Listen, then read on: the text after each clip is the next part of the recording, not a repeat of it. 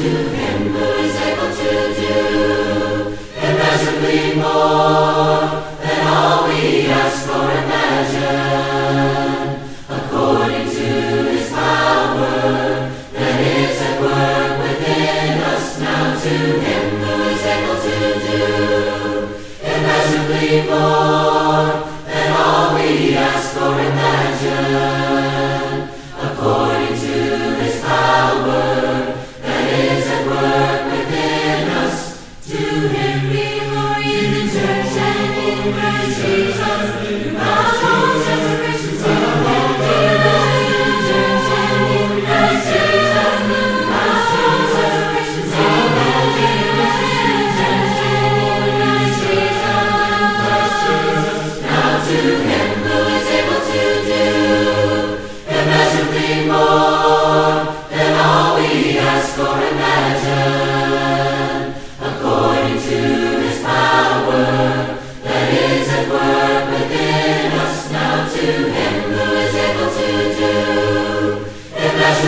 Then than all we ask or imagine.